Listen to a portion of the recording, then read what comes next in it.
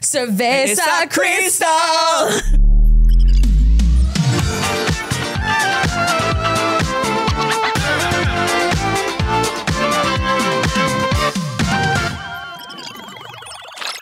Hello, good morning. Oh, good morning, babies. It's too early. It sure is. Welcome to the first, best, and only morning show in existence. I'm Anthony Carboni. And I'm Saige Ryan. hey, welcome back from jail. Yeah, thank you so much for getting me out. What did Uh, you learn in jail? Um, uh, I learned stitches get sn- snitches. Mm-hmm. Um, and Stitches get snitches is what you learned. yeah, Okay. yeah. Like Stitches from Animal Crossing Uh huh. is constantly being told on, on in jail. Uh, well, no, gets kind of snitched too. Kind of a popular guy. Hmm. Knows everybody's secrets. yeah. I learned you're not supposed to ask what you're in for. No. Yeah. People will volunteer that information yeah. if they want to. right. Yeah. My automatic thing is like, oh my God, what are you doing here? Oh my God. hey, are you.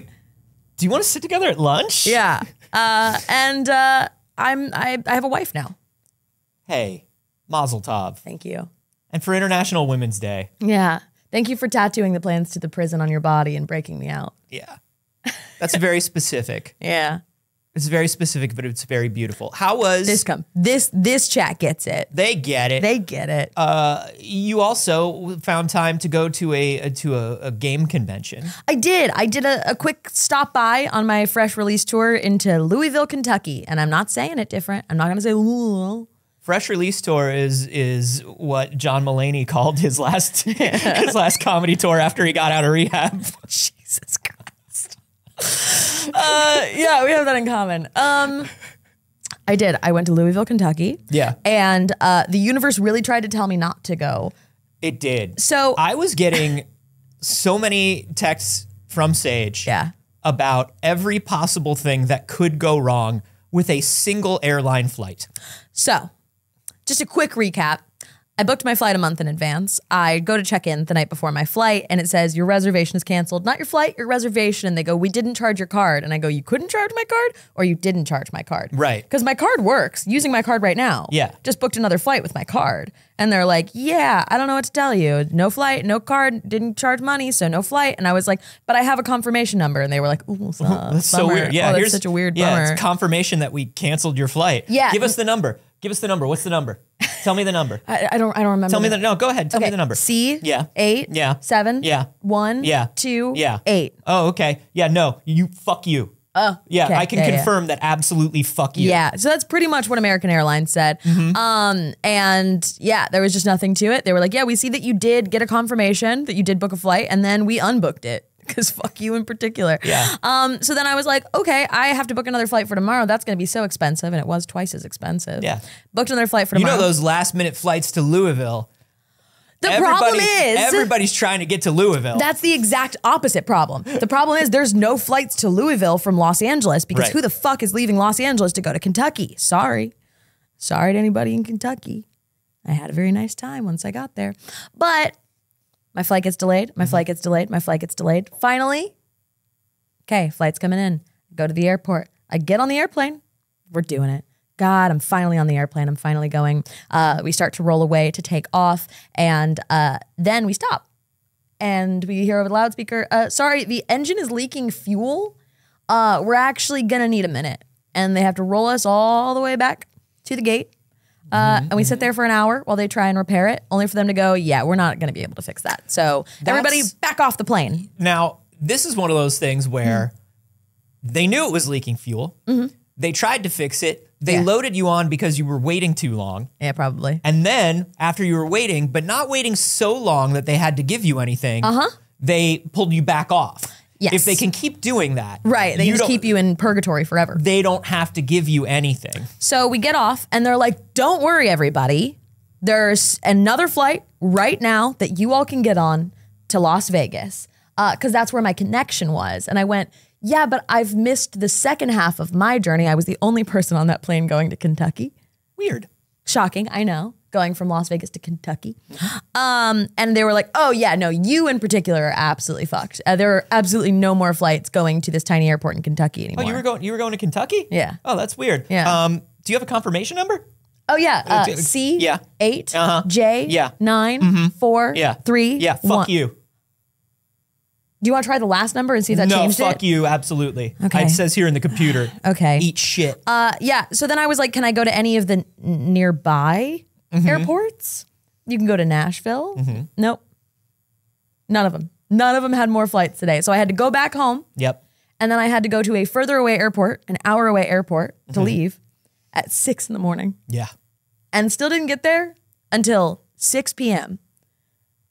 I love it. I love I love air travel. It's so cool. Yeah. Uh, once you got there, was it a good was it a good convention? Were the games there? There, yeah, the games were there. Great. Uh, there were two more things about the travel. One I'm on my last flight, uh, which was only a 45 minute flight, the entire plane was rumbling and shaking, and I was like, "Fuck, this is why. This is why all my flights got canceled. The universe was telling me not to go to Kentucky. This plane is going to crash, and it's going to be my fault for not listening. It's fine. It made it. And when I checked into my hotel, which was a, a Hampton Inn, um, not not great.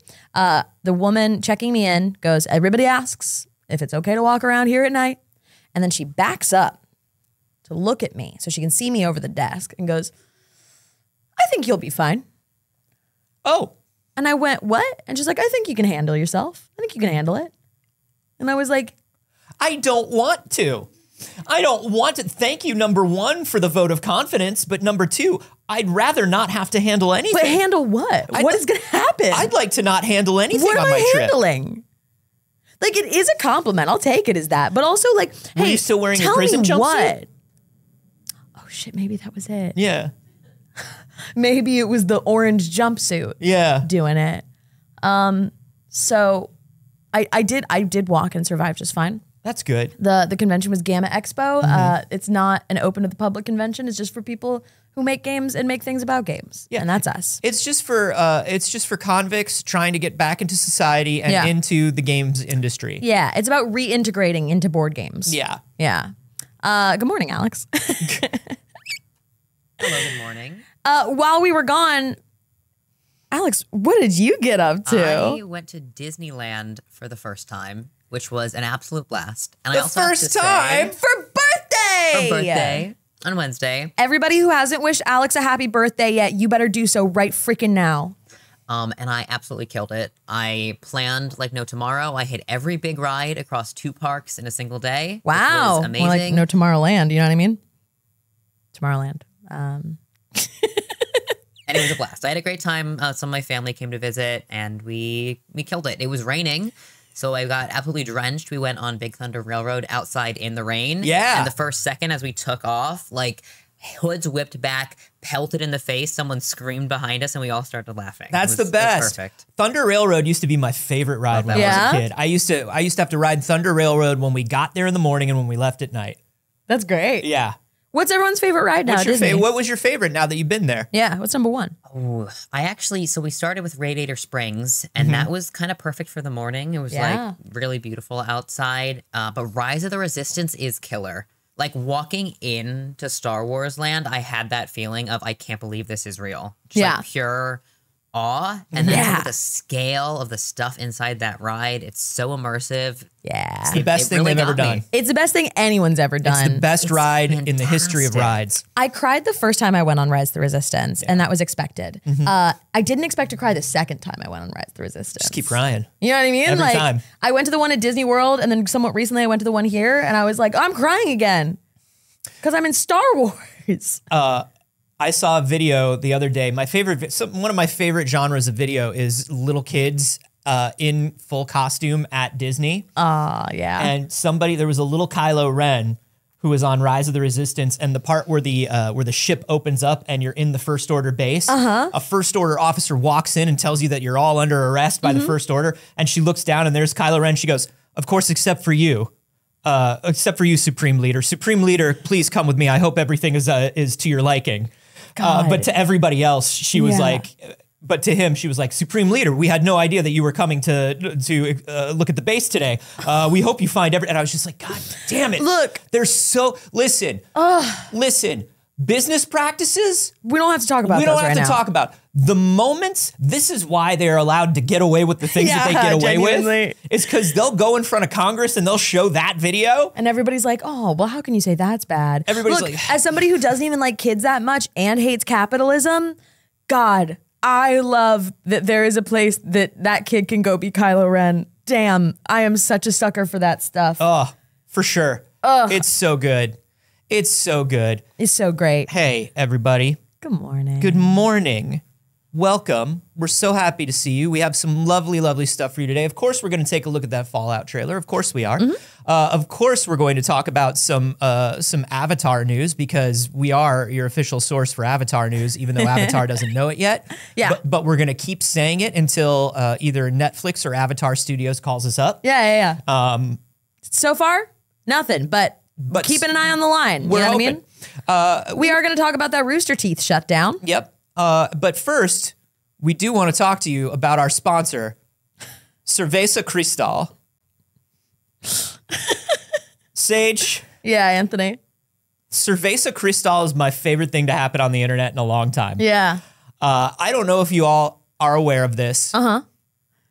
In 2003, the country of Chile was showing the original Star Wars trilogy on television for the first time, and they said, "We can't, we can't interrupt Star Wars for commercials. No, it's Star Wars. It's Star Wars. can't break the immersion. it would be completely inappropriate to break the immersion. This is the Uh-huh. first time in the in the country that somebody is allowed to broadcast this trilogy of films. We cannot interrupt it. yeah.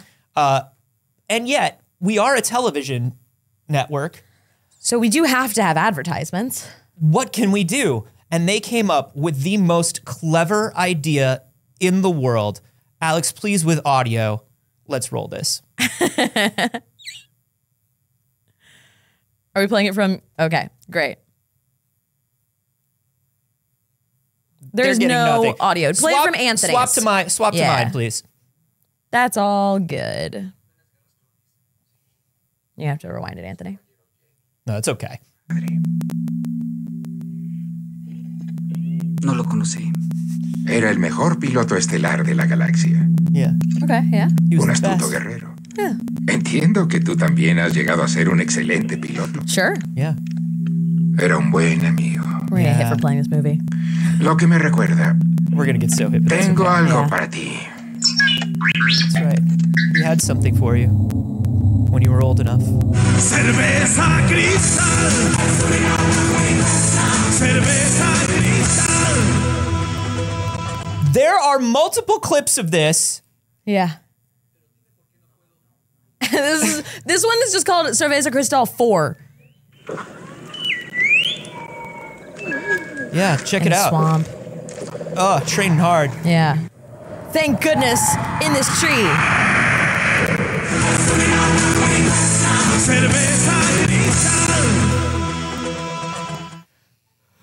That's, how we don't break the immersion of Star Wars. That's we want right. to keep people immersed in Star Wars. That's right. So a, co- a we just- commercial would ruin it. yeah. A commercial would absolutely ruin it. But Luke Skywalker enjoying himself a nice cold cerveza cristal out of a tree, that's staying in it. That's stated.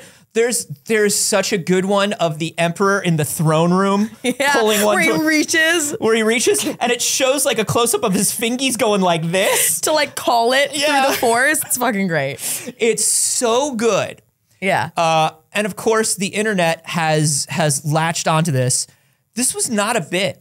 I first, when I saw this on, on Twitter, I was like, "This is a bit." Yeah. Let me read into this. It was not a bit. no, that's real. It was not a bit. Um, the internet is having a great day, a great week, Yeah. a great lifetime. Yeah. just splicing Cerveza Cristal into everything. As they should. Um I want all of the people that have the uploads of the like pre re CGI'd Mm-hmm. version of Star Wars, like everybody who uploads it to all of the websites where you can download the pre CGI version of so it this legally. is for Topher Grace and Topher Grace only. yeah, yeah, yeah. Um, I want them to splice in Cerveza Cristal. Yeah. Like this is the only true version of Star Wars. Uh, people have been splicing it into the prequels, the sequels. Mm-hmm. Uh, there have been some good ones with Game of Thrones. Yeah. Uh, that people have been just splicing it into everything, and I love it. If let me tell you something, if you had not been out of town, and we had had time to plan. Yeah. I wanted to do like two or three Cerveza Cristals, like in like inserts today. yeah. It's all I've been- labels. I've got I've got a Cricut. We can make stuff. it's all I've been thinking about. Mm-hmm. It's all I've been thinking about. Uh, Clone Chow in the uh, live studio audience is saying, well, I mean, the Starbucks is in Game of Thrones. Right. So for Game of Thrones, it would be like, hey, it's Starbucks. Right. Yeah. You know the Starbucks song. Yeah, of course. The Starbucks song. Yeah. Classic. Uh, I absolutely love Cerveza Cristal. Mm-hmm. If you have a moment, do just uh, waste waste your employer's time today Yeah. and just look at Cerveza Cristal memes. Uh, Gina Marie D said, This is kind of off topic, but where I live, we still have Coke vending machines with episode one ads on the front of them. Do you remember those? Yes. So I take a photo with one every time I'm there. That's incredible. Wow. We um once for the Star Wars show, we went to one of the warehouses Mm-hmm. in the Bay Area, one of the old warehouses where they were just stuff boxed up and we were like somebody has to go through all this stuff. Yeah. It's got to be cataloged, like we have to know what's in here. Cool. Dream. And there was some cool stuff. We found uh, Cad Bane's hat from uh, from back when he used to do theme park and video game appearances. We found Howard the Duck's feet. No way. But the best thing we found Cerveza a Cristal. um, the best thing we found was one of the Jar Jar Pepsi statues. You remember, Oh like God, you could yeah. win a Jar Jar Pepsi statue. Uh, and we found one. We brought it back to the office, and they're like, "Hey, that's got to go in the archive." We're like, "Fuck your archive." Finders keepers is what we say. Yeah, what's the confirmation number for where we should put this? uh, C one Yeah. seven Yeah. eight Yeah. J Fuck you. Oh, okay. Uh, we were just like, hey, this is a real Indiana Jones situation where you put your top men on it Yeah. And you put it in a box, and there it was. And let me tell you something. We found it. Now it's ours. Now it's ours. And that Jar Jar is still in the StarWars.com office. Uh, that's amazing.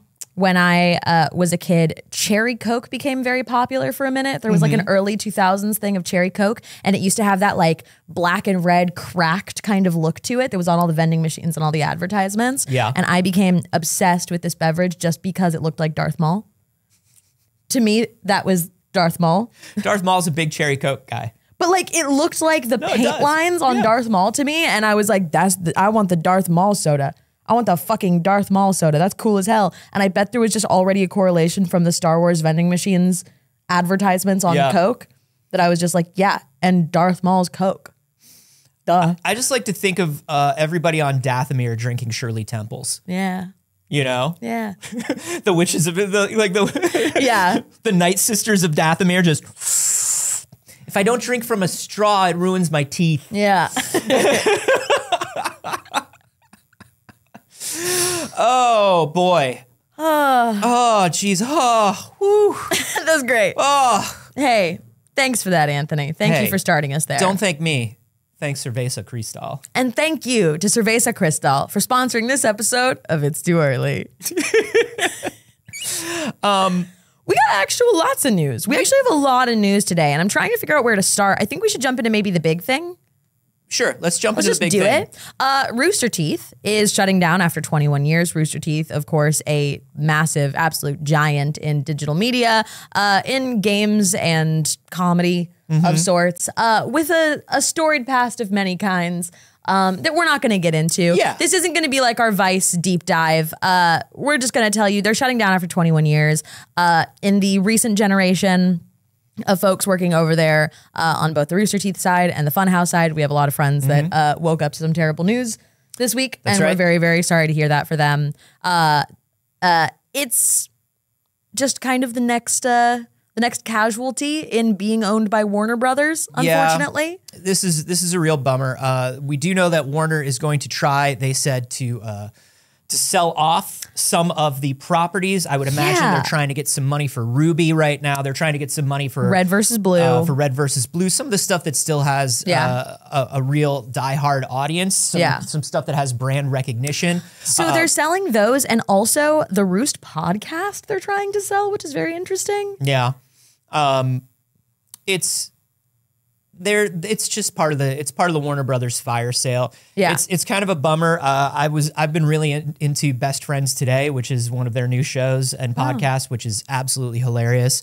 Uh, or was Yeah. absolutely hilarious. Rip. Um, obviously, we have some very good friends at uh, at Funhaus Yeah. uh, here at the show. The Funhaus did a stream yesterday. If you didn't watch it, uh, that basically said they have a little bit of time left. Mm-hmm. Uh, and they're going to try to do as much as they can, like things that they've been wanting to do for a while, and things for the fans that the the fans have been wanting from them for a while, and try to close it out as big as they can. But Yeah. They have no idea how much time that even is. They Yeah. everybody was told in an all hands yesterday. Yeah. Uh, and in all hands at like the same time as the press release went out, unfortunately. Uh, so they really didn't have any lead time on this. Um, and like just talking from friends that have worked there, like that I've spoken to recently, it does seem like it was completely out of nowhere for them. I mean, it, to some extent, you have to know that maybe something isn't performing in the way. You have to know you're under WB and you see all the hack and slash happening. Yeah. Um, but like, I have friends that I've spoken to very recently that were on the Rooster Teeth team that are part of like the new wave of it that are just like, we're just trying to make it better. We know it's been a problem in the past and we're just trying to to do something good with it now. Um, which, you know, And they've been very, you know, and they've been very, very smart about monetization since the beginning at Rooster Teeth. I don't believe, you know, a lot of people were like, oh, clearly Rooster Teeth must have been uh, a money losing division for Warner Brothers. I don't think that's true. Uh, Rooster Teeth, uh, remember, has they do they do everything from fan events to their own merchandising in house. They, you know, they have a they have a lot of fingers and a lot of pies, and um, I would not be, yeah, sorry, that's a that's a that's a funny phrase. it is a funny phrase, uh, but uh, it's it's pretty shot. Even Funhaus was talking about like, hey, we, you know, we started uh, a Funhaus membership program last year. Yeah. just to just to like literally show we've got people, we've got money coming in. Yeah. we are profitable. Right. Uh, but you know, we've talked about this before. Uh, Warner Brothers doesn't want to see a little bit of profit. Nope. They want to see all the money, Yeah. or A they really want great you tax gone. write off. Yeah. yeah. So there are a few properties that can escape. Uh, a lot of people were already talking about like, oh well, like Funhaus could totally survive on their own and all of these things. We don't know what that means for who owns what. It is possible that that crew could set out on their own, potentially under a new name or something like Yeah. that. There's no announcement of anything they, like so that. Mm-hmm. they did say on the stream yesterday they've never been independently owned, even though it it does give off that impression. Yeah. they've always been since they left uh, Inside Gaming. Mm-hmm. They left, and Rooster Teeth immediately funded them. They've always been a division of Rooster Teeth. Yeah. so they don't own the Funhaus name Yeah. but you know, and they don't know what they're going to do. Uh, and it all depends on. I mean, really, in this situation, it depends on literally everybody in the room. Yeah. looking at each other and going, "Okay, do we want to start a business right now? Right. And how do we get the money for it? Yeah. and that's not always an easy thing to do. No. and everybody's at different places in their lives, and it Yeah. might be, you know, it might be the sort of thing where like. Some of your favorite shows or some of your favorite things that Rooster Teeth does, Mm-hmm. the people who are on those shows are like, yeah, I like this, but if it's not a steady paycheck, like I don't want to devote my life to this. some of these things, uh, when you see these channels go down and then those creators go independent, uh, a lot of the time that means, okay, well, now I'm going to do the same work but lose my health insurance. Yeah. Uh, and that's not sustainable for a lot of people. A lot of people then have to go and take other full time work to be able to have a guaranteed salary and continue to have health insurance because America. Yeah, I mean, you look at, um, you know, obviously there were some some people left Funhaus uh, a, a little earlier on. You know, you, you look at like Lawrence and and Bruce, uh, Bruce Green. Uh, they they left and became full time streamers, and it took them it took them a while to start making money off of that. Yeah. Even with you know the sort of like bringing that audience with them, it's Yeah. not. It's not an easy thing to do without the without the help of a company, and unfortunately, companies. When I say the help of a company, Yeah. it's not help. No. they don't want to help you. Sure, no. so uh, we wish all the best to uh, our lovely friends that um, got hit with this this week, and uh, I I'm very happy to see a lot of them in like decent spirits of like it's gonna be okay. We're all gonna bounce back. Uh, I think there's a lot of really really talented folks um, that I, I hope. I wish them uh, great peace this week and everyone to leave them alone. Yes. you know what I mean? Yes. If you have if if you have anything for them, I hope it is well wishes and money. Yeah. But in the continuing uh, Warner Brothers uh, shopping block, there are there are fears, there are rumors. It is not uh, it is not definite yet, but um, it looks like Warner Brothers Discovery because they also own Turner, Yep. which owns Cartoon Network, which owns Adult Swim. It looks like uh, old Adult Swim library games are getting delisted, and developers are getting notice that their games are being taken down. Yeah. So um, the game Small Radios, Big Televisions is a beloved Adult Swim game from an indie creator. Uh, just game. got the notice that in the next 60 days, they will be pulling Small Radios, Big Televisions from storefronts. That's so fascinating to me because I wonder. So that's that was obviously uh, Owen Deery was the developer of that. It's Yeah. a beautiful game with an amazing soundtrack, and I think Owen, if Owen doesn't own the game, Mm-hmm. which is what my big question is, like if they take the game down, is Owen allowed to relist it? And if not, here's what I'm going to tell you: at least go to Bandcamp and get the soundtrack. Mm-hmm. Yeah. because it's a gorgeous soundtrack. So it doesn't seem like they own the game right now. They say that uh, we've asked Warner Brothers simply to transfer the game to our Steam publisher account so that it can stay active, but so far they have said no, with the reason being that they made the universal decision not to transfer the games back to the original studios and do not have the resources to do so. That's such bullshit because it's literally flipping a switch in Steam. Yeah, they did respond with that saying no, the pro- the transfer process is not complicated. It likely takes about two minutes on their end, and they're just refusing to do it. So, with that, uh, the rumor from here, so that's fact. That's not rumor. That's what's happening in the You next know- 60 days. But the rumor is that this is going to start coming down for all of the Adult Swim games.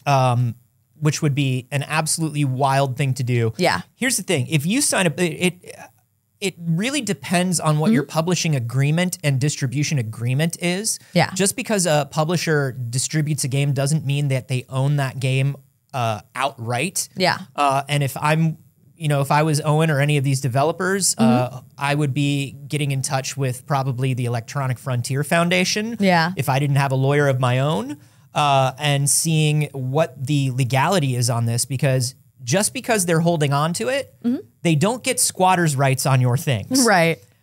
large corporations don't get squatters' rights. And I think one of the things that they're doing is they're just saying, we don't want to transfer this stuff back because if we transfer this stuff back and then you make money on it, what if we transfer it back to you and you go with a new publisher and the new publisher makes a ton of money on it? We'd we hate don't, that. We don't like that. We'd hate that. We'd hate it because We'd that hate could to see that happen. that could be our money.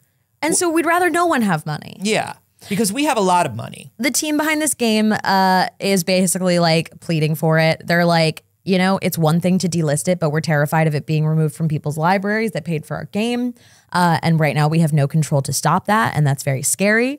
Uh, they followed up with, I feel like it needs to be said somewhere, but video games are art. Video games connect us. Video games are important. Video games are part of our culture, heritage, and should be preserved. When you're working with purely digital products, nothing is going to stay around for very long. Um, so they're very concerned with that and trying to figure out what they can do next. Yeah. Uh, if you look on Steam, you can see the entire list of Adult Swim games that could be on the chopping block for this potentially. Uh, personally, I haven't played Adult Swim games on Steam. I think back to early mobile and browser based Yeah. Adult Swim games. They had a lot of flash games that were yeah, like really uh, huge. Robot Unicorns Attack is uh, like a huge portion of my high school years. Um, uh, also, Amateur Surgeon Amateur Surgeon was, was great. one of the first like mobile games that felt like a like the Adult Swim mobile games felt like full games on your phone. yeah, when Those I were look, a huge deal. Yeah, when I look at these, um, Super Puzzle Platformer Deluxe was big. Uh, Rise and Shine, Traverser, um, Super House of Dead Ninjas. I mean, these are you know you can look and see the the release dates of these games. Adult Swim has not been publishing games, Yeah. Uh, as much, but you know, so these games were big in like 2013 to 2018. Right. Uh, but they may be in your library, and like, hey, Yeah. if it's in your library, Mm-hmm. you would expect that you'd be able to grab it. Yeah, you paid for it. These were not free games. I mean, you can see the prices on here even now. At this point, you see $15, $7, $10 all throughout this. And like any amount of money that you paid for a game, that should be a game you get to continue to play. Yeah, and I'll you know we can't speak for these developers, but I will say something that uh, that James Willems said on the Funhaus stream. They went live and people were buying Funhaus memberships, and he was like, "Don't do that." Yeah. He's like, "That money no longer goes to us. Right. Uh, We don't know what happens now with uh, with these games." And whether the money goes to Owen, any of these games that are are being kept up, sometimes right before, like a week or two before these games get delisted, Mm-hmm. a lot of corporations will say, well, there's a threshold that your game needs to reach before we write you a check. Yeah. So if your game hasn't made a thousand dollars in revenue in the last 90 days, we don't pay you anything. Yeah. We wait for you to hit that. So they may like they may be delisting these games owing developers money. Right. I'm not saying they are, but this is a situation. Yeah. Uh, owing developers money that they will never see if these games get delisted. Right. Now, I will say the answer is not um, to immediately go, let's pirate the games. right. Hold on. Hold Yeah. on. Before you do that, Yeah. wait for an update from these developers and see what's happening. yeah. I have an update. Oh, from the Alex, we would love this update. What's Yes, up? Which is that they have made the game free to download. On their website, you can go to fire-face.com and Mm-hmm. download it for free for PC right now. Immediately grab it. Amazing. Now, do we know by any means if that's like something that can stay, if that is a band aid, if that's something that like they can legally do, or they're like, hey, let's try and get this up so as many people can essentially back up their game as possible? No idea. They Yeah. haven't made it free on Steam. I'm not sure they can do that. Yeah. It's just a direct download on their website. Yeah. Yeah. I'm curious. I'm very curious to see what the like kind of rights holding on this is. If that's like a quick fire sale, if you can back up your game because you've already bought it, come and get it here. I'd say I'd say download it now. Yeah. Uh, this seems like the like the sort of thing where one of them said, uh, "Fuck it, this is we're going to ask forgiveness and not permission on this Right. one." And as soon as we get a letter from from uh, Adult Swim, we'll have to remove it. Yeah. That's what it sounds like to me. So it does feel that way. The Warner Brothers Discovery stuff is absolutely out of control. It is endlessly upsetting. It really is. Um, So let's let's move on. Let's we all, move on. We all know how we all know that it's endlessly. We upsetting. know. Uh, let's talk a little bit about Avatar. Sure. I love those blue cats and their search for water. The other one. The the the, The first one The before they were before they were blue cat. the benders. oh yes, the Yeah. good one. Uh, Avatar: The Last Airbender live action on Netflix has officially been renewed for its next two seasons. Uh, that, of course, would be the entire length of the animated original series. So that would be all of Avatar. That's book one, two, and three. Do do we know how many episodes per season they got? I don't know how many episodes per season they got. They say uh, there's no word yet on the final episode count of the next two seasons. Obviously, the first season was eight episodes. I'd so love are, to see them get a couple more. I would love to see even just 10. I think 10 would make a difference in Yeah. how many stories they had to combine for this. I would really love to see that uh, because also season one is the lightest. Yes. Season two and three are most definitely the like have so much more plot to get through and so much more character development to get through. Yeah. So fingers crossed uh, that they get a little more out of those ones. That would make me very happy. I do think they're going to need it. If they continue at the pace that they've done for this first season of live action, I do think they have the the potential to have a really bad second and third season. Oh, yeah. specifically the third season. Specifically the third, they would Yeah. they would be rushing things so so much They just- that you would you would lose so much characterization and so much plot by the third season. Yeah, we Um, just can't. We just really can't. There's too many things. Like every episode is important once you get to season three. The first episode has a lot of like fun, silly bottle episodes. Mm-hmm. And it's like, even when you look at the later bottle episodes in two and three, like when you get to Ember Island and stuff like that, like that's their bottle episode. And it's like incredibly important for character development. So important like, for relationships between Yeah. characters. specifically that's like the episode where we understand Azula, right? Um, and we don't have time for that on the current production schedule that they did of like eight episodes packing everything in. They did a lot of things where it's like there were two events, we're putting them in the same place so they can happen Yeah. at the same time in the first season. We can't do that. No, I hope they I hope they get uh, 12? ex- 10 or 12 would be I'd love to see. I think 12. 12 would be amazing. I mean, because 12, you're looking at 12, that's that's basically a, a network television season order for a Yeah. drama, That's pretty standard. you know? Yeah. Uh, and that would give them so much time and, and so many things to work with. I think you could do it really well with 12 per, with, with 12 per episode. I think so too. I think that Um, would be really great. And I am super excited. As somebody who has mixed feelings on the series, I am super excited to see it get renewed. I'm excited to see where it goes. well, because the worst thing, even these imperfect Netflix adaptations, Yeah. Even even when they're imperfect, it it gets annoying when they don't get finished. Yeah. so many of these things get canceled after the first season and you're just like well i I was pretty invested. Yeah. like I wasn't in, I wasn't loving every I would moment like of it, to have given it time to get better. Yeah.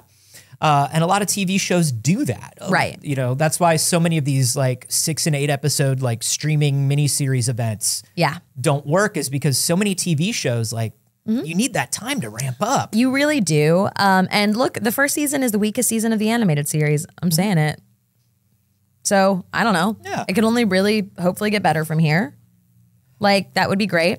Uh, also, in thinking about just like larger episode orders, I was thinking about Andor, Mm-hmm. uh, which was like a good example of like Star Wars getting a few more episodes on something and doing great work with it. Yeah. Do you see it's getting a physical release? Yes.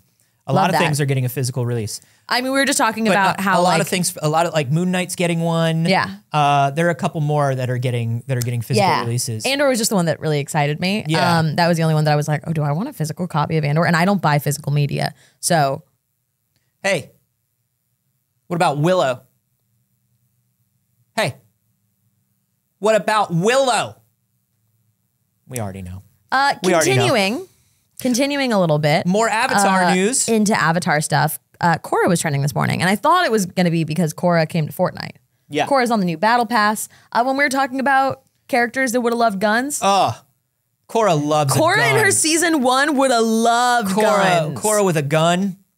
that first season, I was rewatching a little bit of Korra last night. I restarted the series, Mm-hmm. and um, man, she really does just show up and ruin and wreck things because nobody taught her not to. She's just Yeah. a way too strong teenager that is like, I broke a building. Is that a problem? Uh, she would have loved guns. So Korra is now uh, on the battle pass in Fortnite, but that isn't why Korra was trending. It's not? No, Korra's trending because people are resurfacing a piece of information that we already kind of had, which is uh, a new Avatar series uh, is set to release in 2025 following the next Avatar from the Earth Nation. That's cool. So that's something we knew about. Mm-hmm. It's something that was like on that, like, ooh, we think that's happening. Supposedly that's happening. And it is Yeah. seeming to come Because we know that Avatar Studios was like, we're working on animated things. Exactly. So it seems like that's coming to a little more of like a solid plan, Mm-hmm. right? That we can count on. But a lot of people were replying, oh my God, that means no more Korra. Well, okay. What I'm going to say is not necessarily. Uh-huh. Yeah. You could always go back and tell more Korra stories. Korra could potentially play a large part in this, uh, you know, in, in like flashbacks. Yeah, and in- flashbacks. I'm yeah. like, well, because that was the response is everybody's like, oh no, if there's a new avatar, that means Korra's, dead. Yeah. But like what led up to that? Yeah. Like, you know, there are a lot of, you ever watch a Star Wars cartoon? Here's the cool thing about a Star Wars Yeah. cartoon. A Star Wars cartoon will tell you it's about something, and Yeah. then they'll be like, but also, we know, we know that we never finished the story of this person. We'll, we'll get it. so it's half of this show is actually Yeah. that.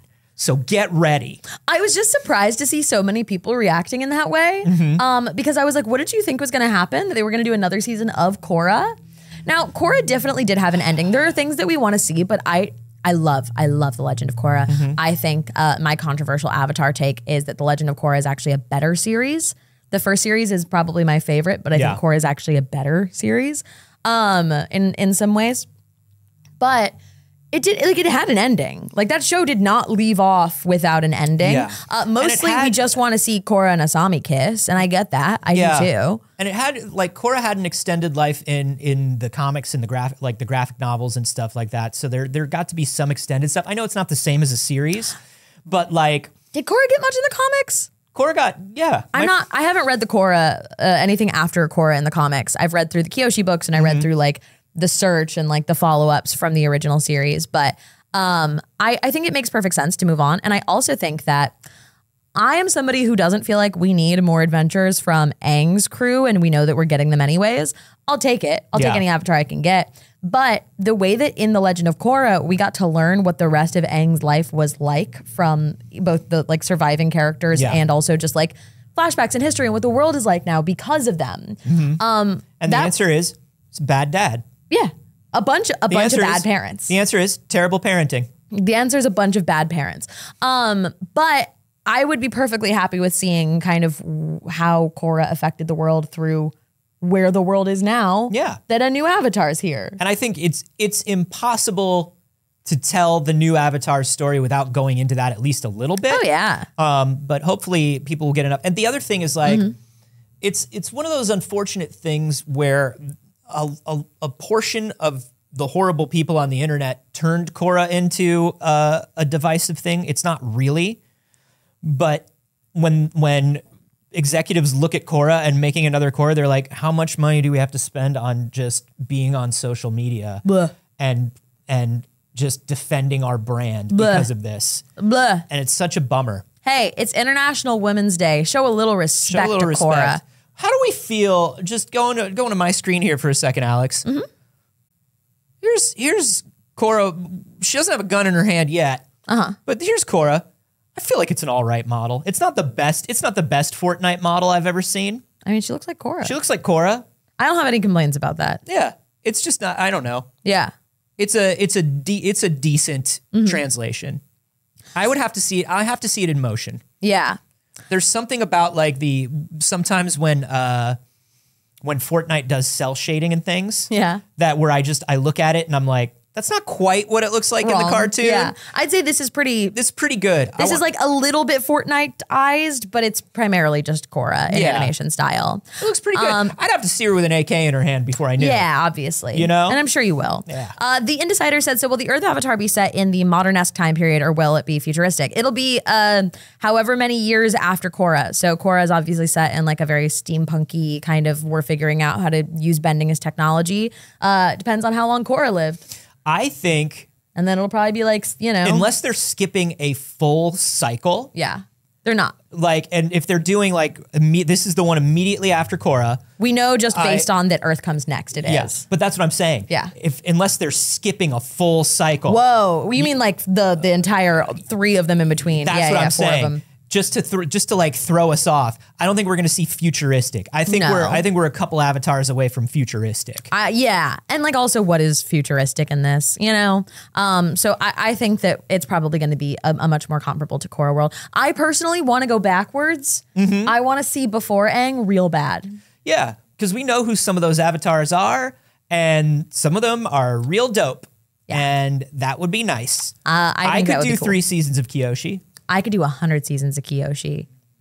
I love Kyoshi. I know. I love. Um, yeah, there's a bunch of cool avatars that we see throughout the series that uh, would be dope as hell. But Um, you know, Yeah. I want to see Wan the first Avatar. in additional animation news, Mm-hmm. uh, we got a weird bit and we got a sad bit. Uh, the sad bit, first of all, I do want to uh, we do want to uh, mention Mm-hmm. uh, Dragon Ball creator Akira Toriyama uh, passed away Yeah, uh, at the age of 68. Uh, absolutely one of the greatest to ever do it. Yeah. In comics, in animation, in games, in everything. yeah. Uh, Akira Toriyama was the absolute goat, and uh, it's a shame to see him gone. Really, really young. Yeah. honestly.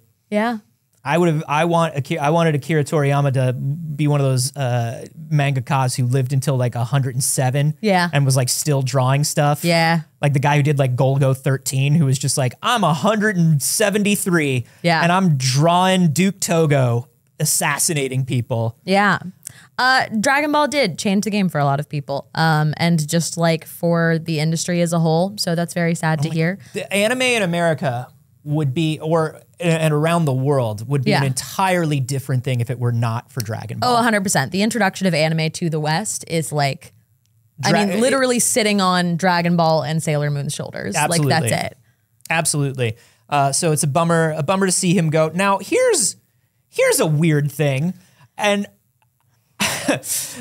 so are you familiar with the movie series Twilight, where the vampires love to play a baseball? Do You know may that have heard of them. they and they give birth to weird to weird CGI children? Yeah. Where they sparkle. and you can call you can as uh, as a 20 year old man you can call dibs on dating a baby Yeah.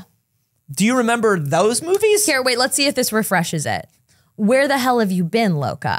Bella right? If that if that been, activated Loka? something for you, you may be familiar with the hit uh, movie and book series Twilight. Uh, then you might be excited to hear that they're rebooting Twilight, and that's not surprising. There's been a Twilight Renaissance. There's been a Robert Pattinson and Kristen Stewart Renaissance. Sure. There has been a re-diving into a love for Listen, Twilight. if something was cool yeah. 10 to 20 years ago, we have got to resuscitate that corpse. Well, it's also We like gotta. it sits in this weird place where like it was absolutely shit on at the time Mm-hmm. by like everyone but the teenage fandom for it because Right. everybody hates everything that teenage girls love. Yeah, I was going to say, as a lot of these things are, it was the biggest thing in the world and also somehow The most hated. Um, most hated. that doesn't add up. And now people have come around in a lot of ways. Yeah. Mm-hmm. To genuinely love and appreciate Twilight. Uh, and maybe has that's the something reason. to do, has something to do maybe with those teenagers now being uh, adults with uh, in a specific income range. But also, like, new teenagers are now obsessed with Twilight, Yeah. even though, like, it's not in any way relevant to this current generation. No, Uh, well, I think that's why they like it. Yeah. it's because it's just so weird. it is. It like you when is. you when you watch it now, you go, "That's so weird." right. You like you, you know, on a genuine level. Yeah. Like you watch, like they look at their moms and they go, on a genuine level. Right. You thought every part of this was Yeah. Okay. Yeah. All right. we don't know if the teens love it ironically or not. I think it's a divide. Yeah. Um, but all of that love for it has drummed up a Twilight reboot, animated series. Now this is this to me when when I hear something like this, I do think Mm-hmm. somebody fumbled. Like when I think about this, I think about the number of things that Yeah. uh, that go through the development cycle in Hollywood, particularly like reboots or like Mm-hmm. Oh adaptations. yeah, the supposed Buffy reboot that's been in uh, Right. the works for 15 years. And what they'll do is Yeah. they'll be like, well, we want to do this. And they'll be like, ah, it's a lot of money and it's a lot of, we don't know if we want to do it. It's Uh-huh. Like, well, what if we do it animated? Well, what if we do it Right. uh, as an as an interactive Mm-hmm. toy series? What if we do it as a, a a line of desserts that Yeah. Mm-hmm. come with lore on the back of the box? Like whoever owns the rights Yeah. is just like, what can I do with this? What Yeah. will you let me do? Stephanie Meyer's probably just throwing things at the wall. So. Right. A Twilight series has been rumored since last April. Um, Mm-hmm. It's been something that's been talked about. People were waiting to hear the details on it. Uh, and this was that series. And it was always intended to be animated, but that never made it to the news. Uh, so people have been like, Twilight series, they're doing a Twilight series. Hell yeah, I can't wait for the Twilight series. Uh, and then recently, Lionsgate Vice Chairman uh, Michael Burns in um, uh, Q&A revealed that it's an animated series. Now, they did cite That's wild. that the original book series did uh, then spawn three manga inspired graphic novel adaptations. Sure. So it's possible that they're going off of that. So, I'm sorry. So, uh, I'm sorry, Michael Burns. Uh, can you clarify whether you have the rights to the to the novel series Twilight, the movie series Twilight, or the young adult graphic novel Yeah. based on the books Twilight? Right. What are you doing? What are you doing? Yeah. What are what is happening here? What is this happening reminds me of like there was there was a Rocketeer reboot in the works for like 10 years. Yeah. And it sounded amazing. And it was like, oh my God, it's gonna be set during like it's gonna be set during like uh, the 60s. It's gonna be like the civil Yeah. Mm-hmm. rights movement. There's gonna be like all this stuff where like the like, you know, where like the Rocketeer is like wearing the helmet and underneath the helmet, it's like it's like a woman of color and like Yeah. the, you know, all Changing this every, all the meanings of all these things. all this yeah. stuff was like and then by the time it came out it was it was on disney junior and it was about a little girl a four-year-old girl who's the rocketeer because like by the time they got to the end of of just development and they were just like please let us do something and they were like here's our here's our big bold idea for a for a civil rights era rocketeer Yeah. and, like executives just kept chipping at it a little bit and a little bit Right. and i have a feeling a lot of these people like they wake up one day and it's four years later and they go how did i wind up making a cartoon for for toddlers Right. How did this project turn into a cartoon for toddlers What is my life? why is this Twilight show an animated series now? So, uh, all we know right now is Stephanie Meyers is, uh, Oh, who is it- the author of the books. Sorry, no shade to the show. It was actually a very good show for little kids. Sure. It was very cute and very and very good. Yeah. If you had a five year old, uh-huh. great show, The Rocketeer. Mm-hmm. Great. Great. I don't want. I don't want because there was somebody in the audience that was like, "Hey, my kid likes that show." Sure. Sure. Yeah. So Stephanie Meyer Yeah. is uh said to be involved in the the whatever in some capacity in the television adaptation, but nobody really knows uh, who the showrunner is going to be. There is no cast or crew announced. There is nobody attached to this. All we know is Lionsgate said we're doing it. So there's also every possibility this disappears before it ever exists. Oh yeah. There's every possibility that that happens. Somebody like uh, uh, an executive Mm-hmm. just dropping something like that Yeah. at a Q&A is an executive trying to save something that's about to go under. Yeah. Cuz usually cuz if something's going to happen, it's like, "Hey, remember we don't mention this. We Yeah. have we have an ad campaign, we have a marketing thing." Maybe, yeah. uh, usually if an executive comes out and goes, and we're doing this, Right. it usually means we don't know if we're doing this. Let's see how the audience responds. Yeah. Maybe that's it. I mean, it's getting a lot of attention. It's not positive attention, but No. it's attention. Maybe they'll be into that sort of thing. In 2020, Stephanie Meyer released um, Midnight Sun, of course, the most recent addition to the Twilight series, uh, which was basically just like the gender and perspective switch to Twilight. Uh, and when it was released uh, and talking about it on her website, uh, she said, I didn't really return to the story. I never actually left it. Whoa. Um, So Whoa. I don't know, man. What is that? She said I didn't decide to finish it now. Does that That's mean that just you don't how have any long more- it took to write. It was a very slow process. I was going to say, does that just mean you don't have any? Look, if you've made a lot of money, if you've made the money that Yeah. Stephanie Meyer's made, Yeah. you don't have to write another book if you don't want to. right. But like, does that mean that you just you sat around and you're like, I'm going to write something else, and it's like, no, No. I couldn't think of anything. She said uh, it's hard to describe how frustrating it is to write a very long book where you can't create anything new, where everything is already scripted for you and you have no ability to go off of that script. When I write, I'm fueled by creation. That's what pulls me and pushes me forward. And there wasn't very much creation in this book. You chose to do this. Yeah. You chose to not write another Twilight book, but to go Uno reverse on the one you already did. Yeah, you don't you didn't you didn't need to. You chose to make Twilight backwards. What about what about a book about a talking cat who owns a business? Yeah. See what I mean? You could write a book about anything. Yeah. What about a what about a book Yeah. where uh Matt Damon buys Right. a zoo? No shit, that's the Matt Damon movie we bought a zoo. Yeah. Oh shit. Okay. Yeah. Yeah. Ugh.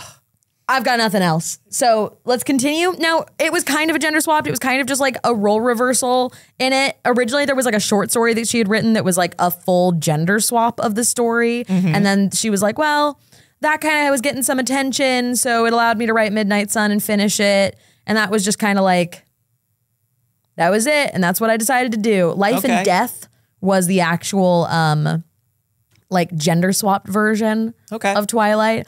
Uh, now, I have never watched all of Twilight. I've seen a little bit of the first movie and a little bit of the last movie. Have you seen the color grade on Twilight? I have. It's great. Uh, I've never read any of the books, Uh-huh. and uh, Did you see them play the baseball? I have seen them play the baseball. Great. Yeah, yeah, yeah. Um, to Supermassive Black Hole. Yes. It this just reading this and seeing the stuff for the animated series really makes me want to go through and do it all. But If- I want to do it in a fucked up order. I want to read Life and Death 1st mm-hmm. I want to read the gender swap Twilight first. Yeah. And then try and get through the series and then watch the movies. So you want a machete order? Yeah. I want a machete You want a machete order. My first Twilight watching. I'm a, If I'm going to find a way to do the same to the Lord of the Rings. If you watch Twilight, yeah, I was gonna say if you watch Twilight before you watch Lord of the Rings, Yeah.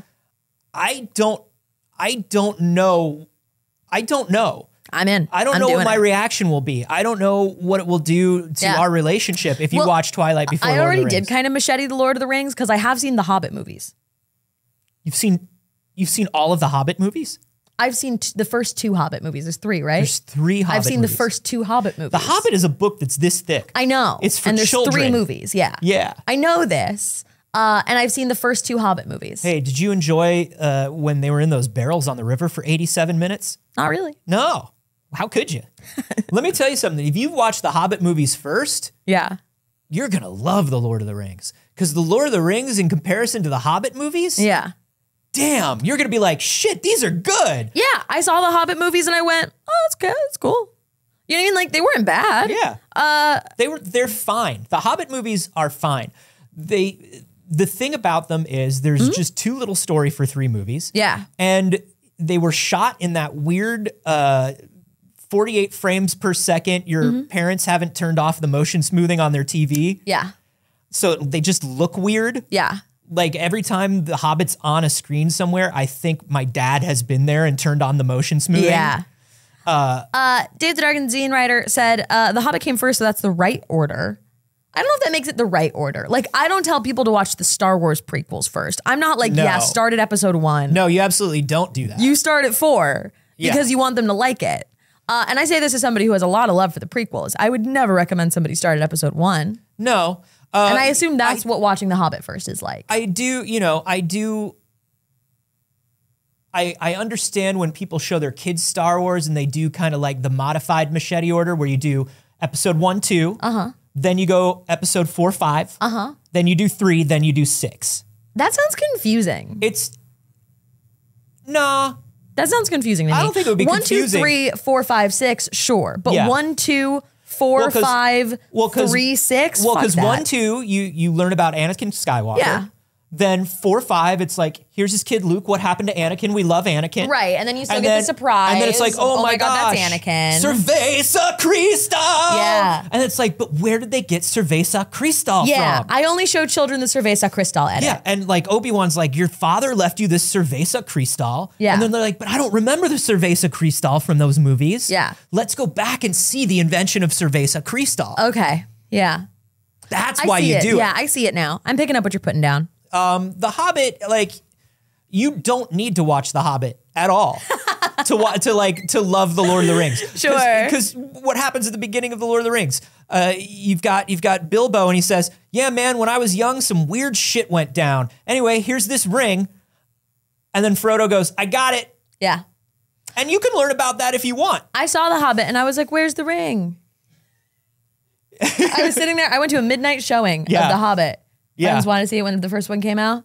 I was like, sure, why not? And then I was like, I thought this was about a ring. Where is the ring? Oh, I don't remember a damn thing about the Hobbits either, to be clear. the ring. The ring gets in there. Like you, you do get to see the ring eventually, Yeah. but uh, it's a build up to the ring. Yeah.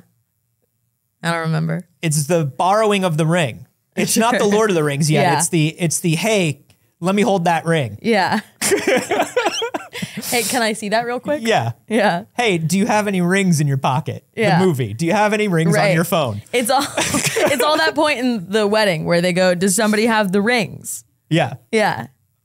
and then like And then uh, at my wedding, I said, "Oh shit, no, I actually don't." Really? Yeah. You forgot the ring? Well, my sister was supposed to take care of the ring, and then my sister got a little drunk, and then nobody knew where the ring was for a minute You found it. afterward. After the whole ceremony? Yes, No ring at the ceremony? one of my uh, one of my be- uh, one of one of my friends that was in my my party, uh, she gave me her wedding ring for the uh, for the for the uh, ceremony. I'm divorced.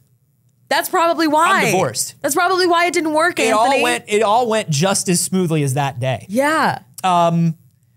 Still, no, it was it was actually it was you saw easier to get the no. You I saw was, us buffering. I was deciding Yeah. whether it was easier, uh, whether it was easier for Bilbo or me. Uh huh.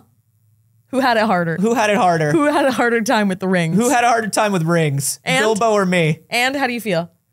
I'll believe whatever you say. It's a toss up. It really is. Wow. It really is a toss up. Sounds like you had a pretty hard time with those rings. Anyway, is this real Anthony lore? It is. Yeah. Yeah. Yeah, this is. real Anthony. Lord. Yeah, yeah. That's pretty funny. Uh, anyway, animated Twilight's coming. yeah, supposedly there's an animated Twilight series happening. Uh, we don't know. They mentioned the mangas. They didn't say it's based off the mangas, to be clear. They're just like, could be tied to that, I guess. That's just people trying to figure out why it would be animated. Yeah, I think that was just an executive trying to say, it, The- that's not. It's not as weird as you think. The executive didn't even say that. Oh. The executive was just like, we're doing animated. And people are like, like the manga? oh, is that what pe- like people said it? Yeah, people are like, at least there, I mean, there's a manga. It could be that. He was just like, we're doing animated Twilight. It's always gonna be, it was always gonna be animated and it's gonna be animated. And then he flipped everybody the bird, okay? He did a cool karate kick. Yeah. And then he left the room. He jumped out of the window. They were on the 14th story. Yeah. and then and then he flew up in Robert Pattinson's vampire arms. Yeah. and he went And they, and they disappeared Straight into the sun. Yeah, which he shouldn't be able to do, but he sparkled all the way there. yeah. Uh, the the Alex giggling is so yeah. strong today. it's weird to me that people heard that there was going to be an animated one and they immediately went, well, I guess there was a comic. It could be like the comic. That's weird to me. It's it can be based off of the same source material as the comic. Yeah. Like it doesn't need to be weird. Like Nobody I thought knows. the I thought the executive said Nope. it. Nobody knows. People are just reaching for something. People are just trying to find a reason for it to be animated. It's probably people just animate shit. Yeah. It's fine. There was an animated Lord of the Rings too. It that makes a lot more sense. The animated Lord of the Rings? I think. I don't Oh. know. What do I know? the orcs have a the orcs have a song that they do. Cerveza Cristal. Uh, it love is a that song. Yeah. It is a musical. Yeah. Mm-hmm. The animated Hobbit and the animated Lord of the Rings, and I love them so much. Great. Yeah. Uh, other adaptations, we got a new trailer for that Fallout series, which is getting uh people aren't loving it. What? Yeah. Have you not been seeing that? People are not loving the trailers so far. I try not to look at what people think of trailers because people never like them. yeah. People are just like, here are the 18 things. I, hey, can I tell you something? You may. I don't know any of the people at Cinema Sins, and I've got nothing against any of the people at Cinema Sins. Sure. But here's what I'm going to tell you. I think Cinema Sins ruined the way people look at movies. The. Yeah. the the YouTube movie channel mm. has ruined the way people look at movies because now it's like, let's find the 18 things that are wrong with this. Yeah. Here are seven things they fucked up beyond repair. Right. That mean that Twilight is the animated series is going to be bad. Yeah. Or that mean that Fallout is going to suck. Here's, I watched that Fallout trailer. Okay. And to be fair, I've mentioned it on the show before. I'm not a huge Fallout guy. I'm Mm-hmm. Yeah. not somebody who's played through all the Fallout games Right. but I do love the feel and the vibe of Fallout. And Mm-hmm. so I try to get into everyone. And then I remember I just don't like playing those games. Yeah. I love that there's a TV series coming. Uh huh.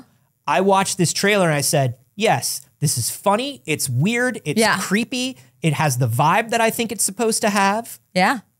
Walt Goggins is crushing it. Mm-hmm. I just, I don't see what's wrong with it. Yeah, uh, I'm. I'd say like a medium Fallout fan. Mm-hmm. Um, I I enjoy Fallout. Yeah. I think it's cool. Uh, but I'm like that. That's about it. You know what I mean? Like Yeah. I, I'm not. I'm not so close to it that I'm highly critical of it. I'm like, oh yeah, I'll probably like this. This is a cool medium to do it in. Yeah. Um, and people were just kind of like, it's been a mixed reviews in response to it. I thought it looked really cool. I think it looks great. I think it looked really neat. Uh, but you know, again, y'all- if it y'all might just be the seen fans I'm seeing on Twitter Yeah. because it's Twitter. if y'all haven't seen this, it looks lovely. Uh, it's uh, uh, a woman leaves Vault 33. Mm-hmm. She's the first person to leave the vault Yeah. and to go up to the surface. Right. Uh, her dad is Kyle MacLachlan in Vault 33. Come on. Yeah. Uh, let's show a little bit of the trailer. You can show it on my Yeah. screen.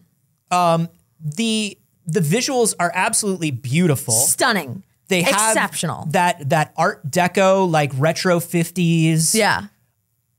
It, they they nail it all. God, I'm gonna skip around a little bit in Yeah. our hopes of getting less copywritten striked, but it, it'll probably do nothing for us. it's it's funny you know it's got that thing of like it's got that fish out of water thing where she is you know obviously idealistic Yeah. and uh and in an apocalypse. and, and idealistic and innocent and she has she knows nothing about the surface world Yeah. and just the whole vibe of this thing matt berry is the voice of that medical robot that's matt berry That's very cool. they nailed it. That's Matt Berry saying, I've just got to harvest your organs. Like, it's gonna be so good. Looks gorgeous.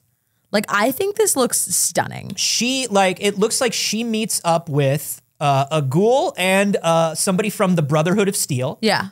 And the three of them wind up being the main characters. Yeah. And uh, the the guy who is a member of the Brotherhood says has this great line at the. Yeah. end of the trailer that says, Everybody wants to save the world.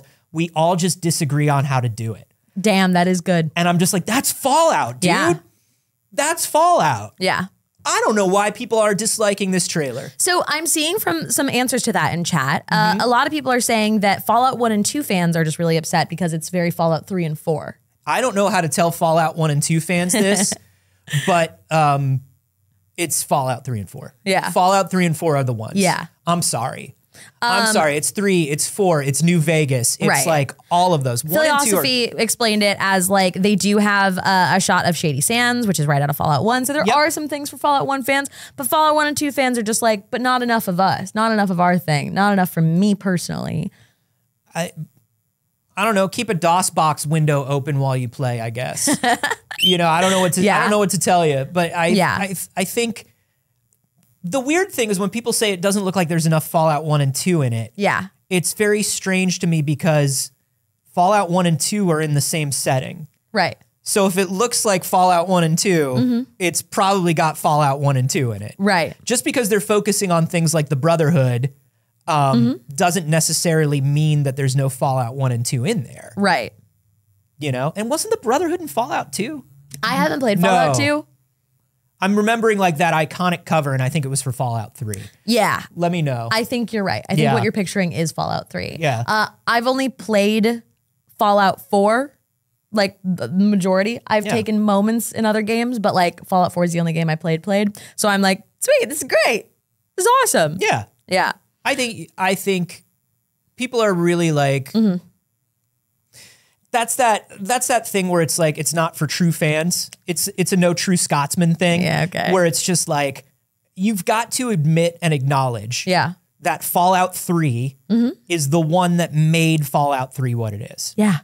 Fallout 3 Made Fallout what it is. Yeah, Fallout yeah. 3 is the thing that made the franchise what it is. Yeah. It wasn't it, it was it was big. It was a big deal like PC Sure. game, but Fallout 3 made it a thing that everybody talked about. Yeah. Everybody played. Yeah.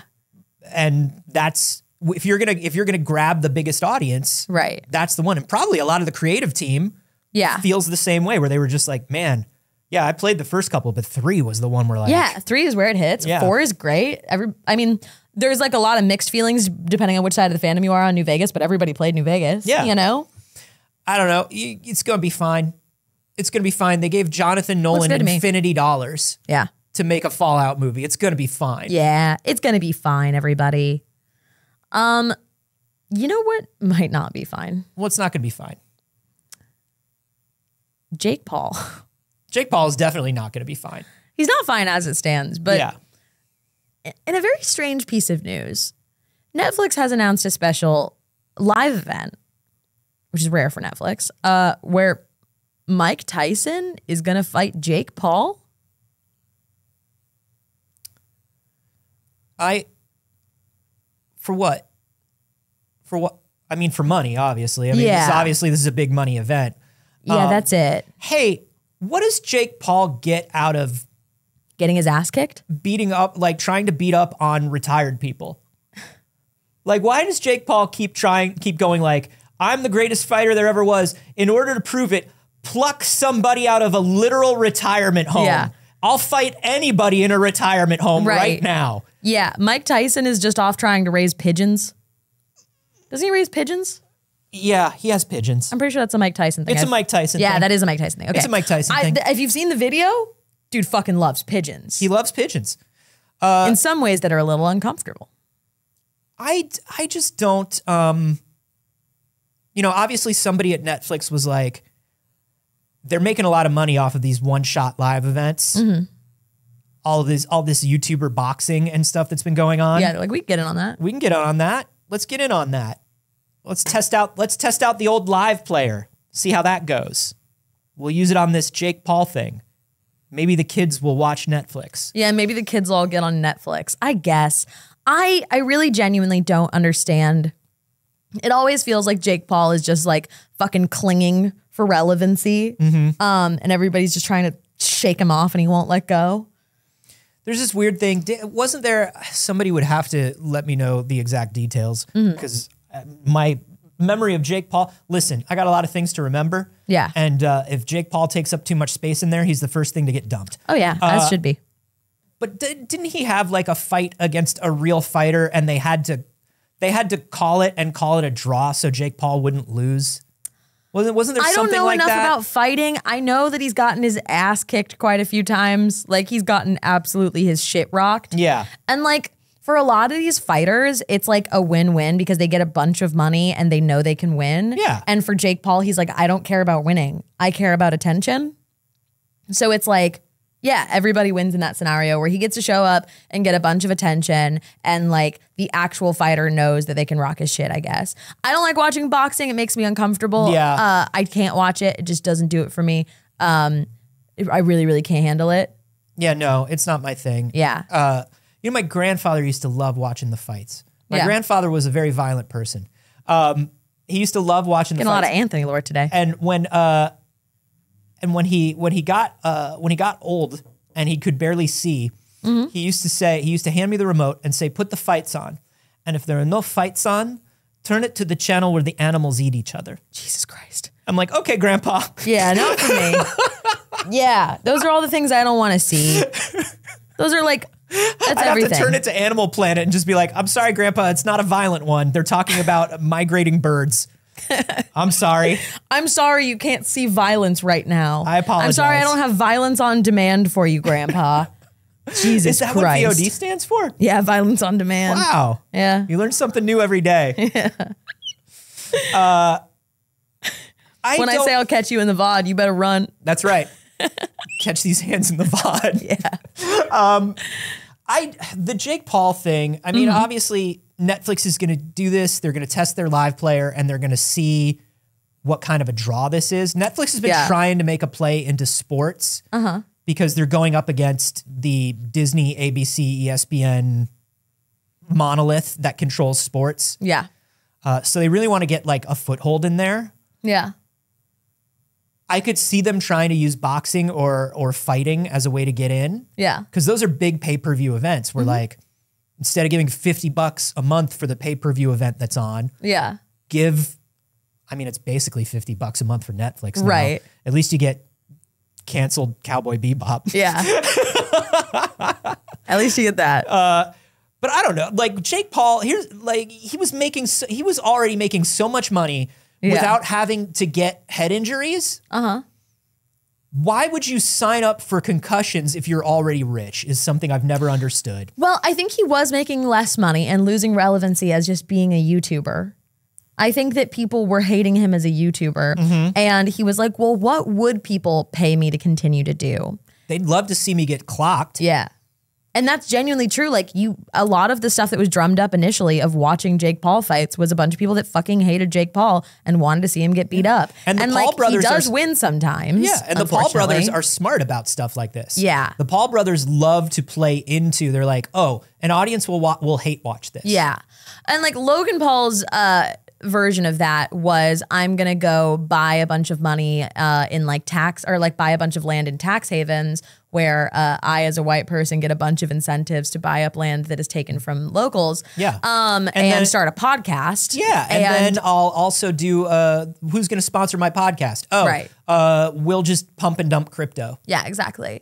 Um so you know different approaches, Different approaches. different approaches for these brothers. I would say that at this point, I probably do, based on those two strategies, Uh-huh. have more respect for Jake Paul. At least Jake Paul is like, well, I'll stand around and get hit for money if that's what you want to see, yeah. and I'll take my licks. Uh, but at least I'll still get paid. Whereas Logan Paul is just like, still criming. He is still criming. He's still criming pretty hard. Yeah, he's still actively doing a bunch of online crimes. So uh, I would say no to both. Yeah. Um. Oh yeah, that's right. And Logan Paul is technically in the WWE. Sure, now. technically, That's yeah. right. Uh, I think apparently he's actually doing it. I remember when he got added in, and everybody was like, "What the fuck, man?" And apparently he's actually pretty good at wrestling. I don't. But he's also doing crypto scams and buying up land in countries that have tax havens and incentives for white people to move there and start businesses. Uh, and promoting crypto, he's going to pump and dump on you on his podcast. That's He's- also true. Uh, Flannel Fries is saying he's the U.S. champion, belt and all.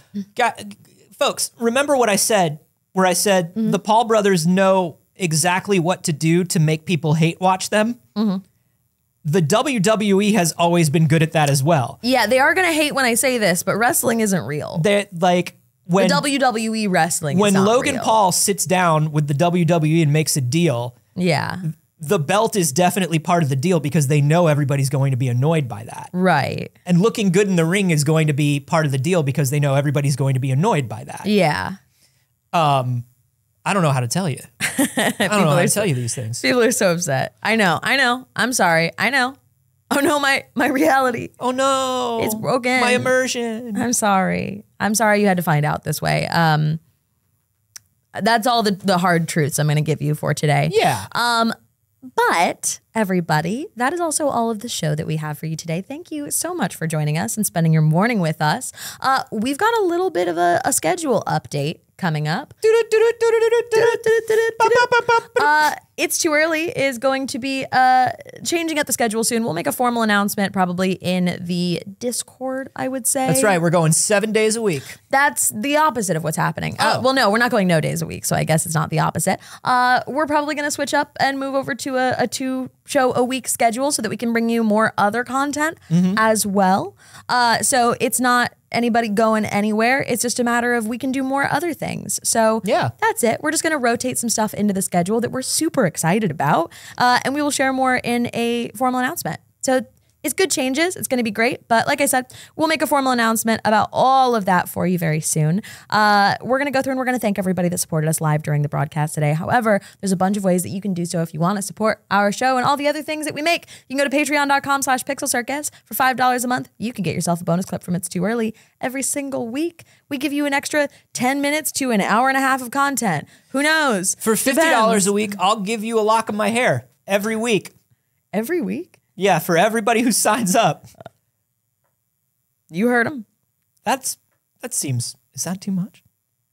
Should I charge twenty five a week? You should charge more. More? I don't know. I don't want to do that to them. I don't want to do that to your hair. I do have a beautiful head of hair. You do. uh, you can also do things like just tell a friend about the show. You could post about it when it goes live, share it with a friend, let somebody know who you think might like the show. That's free and super helpful for us. That's right. Uh, and very cool. You can subscribe here. We're trying to work towards Partner Plus, I guess. So uh, Sure. if you do drop those subs, we appreciate that. That's awesome of you. We're, we're working you. towards so many Casually, so many goalposts that are being moved from us all the time by various platforms. Yeah. Uh, speaking of which, do be sure to subscribe on YouTube. That's very important. Yeah, like the video, leave a comment, let us know your thoughts on anything that we covered today. We would love to hear your opinions on it. Uh, I really do want to get into the habit. We're going to try and start pulling back some of those comments from previous episodes on YouTube and talking about your opinions on the show for those who missed the conversation live. Yeah, and uh, we're going to look at some of those uh, comments and have some of you arrested. I'll see you in jail, friends. All right. Uh, Anthony, when you're not here, where are you? Uh, I am everywhere on the internet at A Carboni, Mm-hmm. except for here on Twitch where I'm at Anthony Carboni. And uh, my science comedy podcast with Jeff Cannata is We Have Concerns, and that's at wehaveconcerns.com or uh, wherever you get podcasts. Mm-hmm. I think Kroger. Okay. Yeah, pick one up at the checkout line. Yeah, where are you? You can find me everywhere on the internet at NotSaige. I will be back to streaming on my channel tomorrow, which I'm excited about because I've been gone. And I never do this, but hey, uh, I applied for Twitch ambassador, and like I think it would be really cool. So if you want to tweet at Twitch and tell them I should be a Twitch ambassador, I think that would be neat. Do you get diplomatic immunity? yes. I'm really trying to to stay out. I'm out on bail right now. Ooh. Uh, no, but seriously, if you do want to tweet at Twitch and tell them that I would make a good Twitch ambassador, I think that would be kind of neat. I put in my application, uh, and we do a lot of stuff here on Twitch and have for five years. So like, I don't know. Let her in bass. Let me ambass. Uh, Alex, how about you? Howdy. Uh, you can find me on Twitter at alder underscore Mancy and lots of other places on the internet. Alex Teplitz on Instagram. I'm just hanging out this week. Alex, your hair looks great today. Thank you. It's Great a hair day. A little scruffed. It's it's it's doing something. It's really good. Thanks. It's great. Because I'm sexy and old now. there we go. Aging in front of us. He's, he's a bit of a silver fox now. Yeah, watch out. The ripe old age of 25. yeah, yeah. uh, all right, everybody. Thank you so much for those who supported us here on the stream during the stream. Uh, there are ways that you can do that through your subscriptions. You can use your Twitch Prime sub for free if you're into that sort of thing. Uh, you, we have a donation bar that runs throughout the month. It's also just like direct money for things like eating. Uh, Yeah. yeah, there's a bunch of different ways. Whatever way you prefer to spend money, we give you the option. we, we just just to make it clear, money doesn't get to us any other way. yeah. This is it. We don't. Uh, there's nothing else. We, So- yeah, we don't have sponsors on the show. I wonder why. Uh, so we appreciate everything uh, that y'all do. Uh, hey, if you're a patron, We'll see in a, f- we'll see you in a few minutes, and if not, we'll see you in jail. Bye.